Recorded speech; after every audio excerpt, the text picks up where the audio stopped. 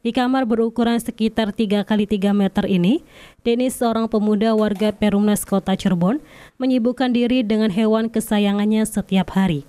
Ia memelihara ratusan ekor leopard gecko di dalam kamar rumahnya. Ratusan leopard gecko ini ia simpan di dalam toples plastik dan lemari plastik yang ia jadikan sebagai kandang hewan kesayangannya. Hobinya berawal sejak awal pandemi COVID-19. Leopard gecko merupakan hewan yang menyerupai tokek, namun dengan memiliki warna dan bentuknya yang menarik.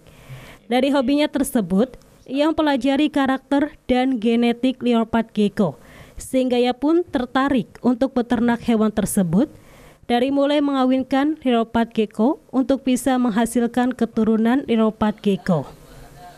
Untuk memelihara leopard gecko ini tergolong mudah karena hanya membutuhkan kandang kecil – rajin membersihkan serta pemberian pakan berupa jangkrik atau ulat Hongkong dua atau tiga hari sekali.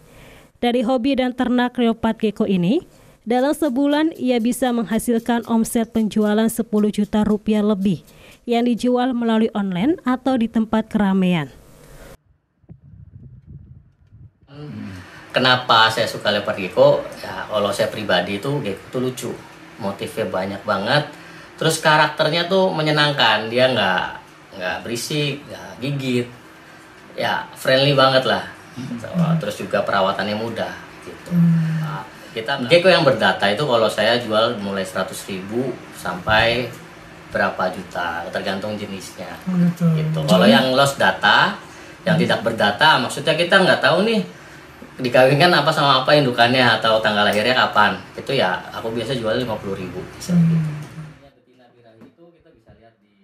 Sementara harga seekor leopard gecko bervariatif, mulai harga 50.000 hingga jutaan rupiah, tergantung jenis dan karakter warna dari leopard gecko serta genetiknya.